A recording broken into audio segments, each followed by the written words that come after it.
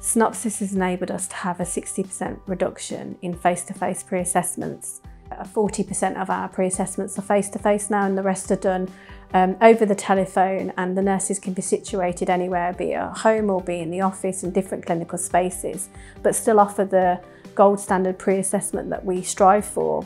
Pre-COVID and pre-synopsis, we saw every patient come into pre-assessment face-to-face. Now patients can be triaged and they fill in the questionnaire themselves at home. They're given the information as soon as they're put onto the surgical waiting list and then they can complete the home questionnaire with their past medical history, their medication, past surgical history, um, which is something that we used to do prior, the day or a few days before they would come into the appointment, so that saved us a lot of time.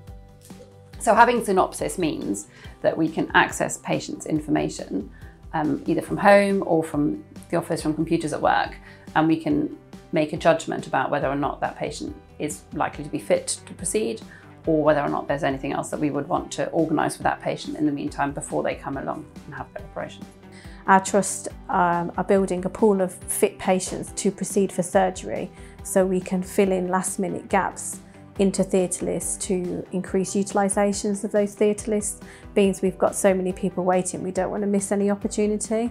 So within Synopsis, we can put the type of operation or the type of surgeon and pull off a list of patients ready to go.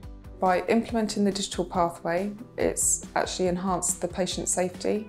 So previously the paper packs were going missing and the patient would turn up on the day and we didn't have that information and there was a query over whether the patient would go ahead on the day for surgery, whereas because we now have the digital pre-assessment, that doesn't happen anymore. So it means that the information is there for the anaesthetist and the pre-operative staff on the day to admit the patient. So another benefit of Synopsis is the reduction in paper waste. Traditionally our pre-assessments were a paper booklet and we've haven't, we don't need to order those anymore so we're saving a significant amount of money in printing for the trust.